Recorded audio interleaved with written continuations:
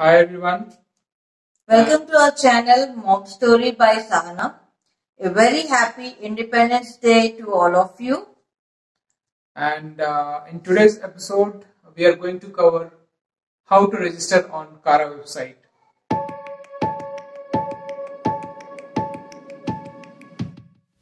Uh, the physical process starts with registration on the website, but uh, the emotional process takes a little longer time, and we'll we'll talk about that in our next upcoming episodes.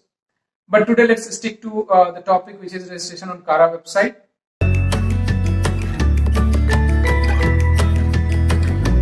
Now, if you want to register by yourself, let's get the guidelines clear. Go back to the home page and uh, you'll find a parents tab, tab there. Uh, click on that. Uh, it will you will land up you know um, in this page where you can find different category of parents depending on your citizenship, whether you're Indian citizen or if you're staying abroad or if if you're a foreigner. Depending on the category, you can click on one. It will uh, give you uh, a lot of detail. It will uh, it will land you to the page where you can find a lot of details about you know uh, the adoption process, uh, the guidelines, uh, search you know search agency options, and tab to register online. So once you click on register online, you will land at this, and this is pretty simple and ask for the basic detail. But if when if, if you're not clear about uh, you know um, uh, filling the form by yourself, you can take the help of a state adoption agency.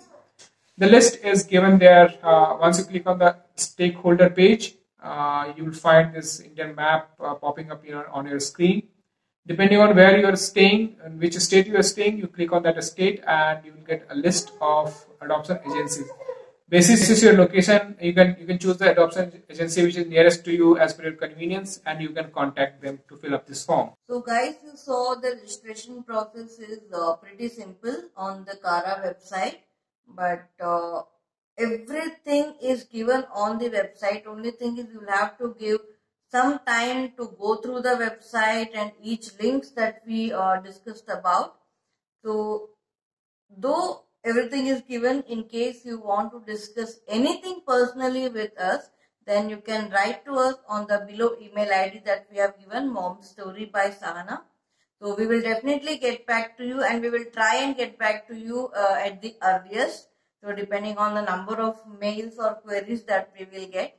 So that's it for today and we will see you in our next episode where we are going to talk about home study and what to expect in a home study. So till then, take care, goodbye, but stay tuned to our channel Mom Story. Thank you guys. Thank you so much.